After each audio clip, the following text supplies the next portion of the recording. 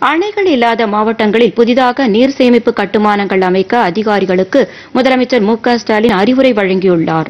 சென்னையில் இன்று நீர்வளத்துறை செயல்பாடுகள் துறையில் மேற்கொள்ளப்படும் பல்வேறு திட்டப் பணிகளின் முன்னேற்றம் செயல்படுத்த உத்தேசிக்கப்பட்டுள்ள புதிய திட்டங்கள் ஆகியவை குறித்த ஆய்வுக் கூட்டத்திற்கு தலைமையேற்று பேசிய அவர் நீர் ஆதாரங்களை அதிகரிக்க புதிய நீர்நிலைகளை உருவாக்கிடவும் மழை காலத்தில் கிடைக்கும் நீரை முழுமையாக சேமித்து பயன்படுத்தவும் இந்த புதிய நீர் சேமிப்பு கட்டுமானங்கள் உதவிகரமாக அமையும் என்று தெரிவித்தார். தெரிவித்துள்ளார்.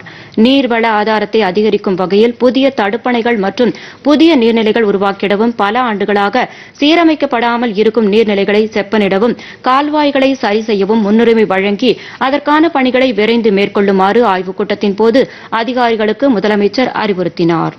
டெல்டா பகுதியில் நடைபெற்ற சிறப்பு தூர்வாரும் பணிகள் அத்திக்கடவு அவினாசி நீர்ப்பாசனம் மேட்டூர் சரபங்கா நீரேற்று திட்டம் நபார்டு நிதியுதவியுடன் கூடிய புதிய தடுப்பணை பணிகள் உள்ளிட்ட திட்டங்களை முதலமைச்சர் ஆய்வு செய்தார். உலக வங்கி உதவியுடன் செயல்படுத்தப்படும் தமிழ்நாடு பாசன மேலாண்மை நவீனப்படுத்தும் திட்டம் அணைகள் சீரமைப்பு மற்றும் மேம்பாட்டு திட்டம் நதிநீர் இணைப்பு திட்டங்கள் போன்றவை குறித்தும் முதலமைச்சர் ஆய்வு செய்தார். இந்த கூட்டத்தில் நீர்வளத்துறை அமைச்சர் துரைமுருகன் அரசு தலைமை செயலாளர் வே இறையன்பு உள்ளிட்ட உயர் அதிகாரிகள் பங்கேற்றனர்.